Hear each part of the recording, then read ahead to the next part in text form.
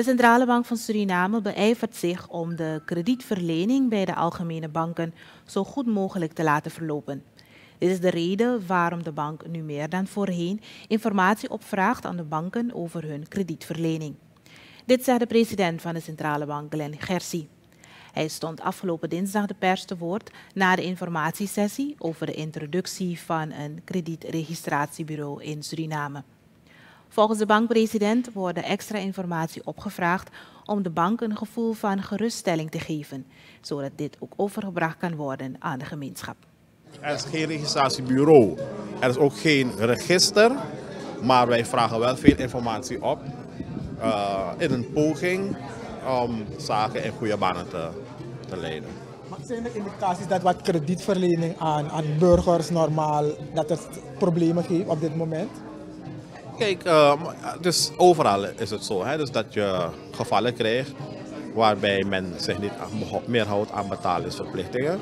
En we hebben momenten in Suriname gekend waar uh, dat fenomeen uh, een, ja, een dramatische ontwikkeling heeft gehad, om het maar zo uit te drukken. Waar dus je in hogere mate krijgt dat men niet, niet betaalt. Veelal is dat ook zo geweest vanwege economische omstandigheden. In het jaar 2016 bijvoorbeeld hebben heel veel uh, ondernemingen, bedrijven, personen uh, een zware terugslag gehad. En hebben het moeilijk gehad om uh, ook hun schulden na te komen. Maar het is toch redelijk gelukt. Weet je, we zagen wel een piek in wat we noemen non-performing loans. Maar nu is de zaak weer naar beneden. Nooit tot volle tevredenheid van de centrale bank. Uh, maar we hebben vertrouwen in dat het altijd ook wel goed zal komen. Wanneer de moederbank deze pieken ziet, zoals in 2016, vraagt zij aan de algemene banken om agressiever te zijn bij het innen van de gelden, zegt Gersi.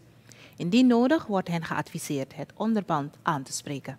In elk geval, als we zien dat de zaak niet loopt, dat de, dat de banken zelf wat voorzieningen plegen, betekent een deel van hun winst aan, aan, aan een kant zetten om eventuele verliezen op te vangen.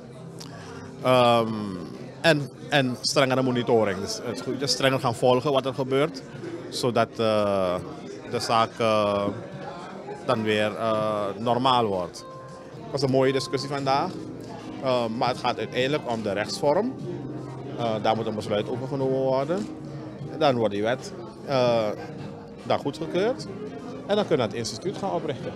Welke rechtsvorm gaat de voorkeur de, van de centrale bank Wij hebben vanaf het begin gezegd dus dat wij uitgaan van meer een privaatrechtelijke uh, rechtsvorm. Um, maar er zijn opvattingen, zeker in de assemblee, waarbij we uitgaan van een publiekrechtelijke rechtsvorm.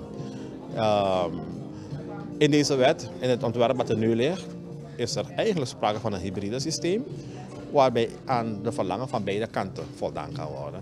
En ik denk dat we op die manier de zaak wel kunnen oplossen, waardoor we spoedig een die wet tegemoet zouden mogen zien. Centrale bankpresident Glenn Gersi afgelopen dinsdag na de informatiesessie over de introductie van het kredietregistratiebureau in Suriname. Dit bureau zal er onder meer voor zorgen dat kredietaanvragen of leningen veel vlotter worden afgehandeld. Echter moet de wet kredietregistratie nog behandeld en aangenomen worden in DNA. Het ontwerp van deze wet is sinds 2016 gereed.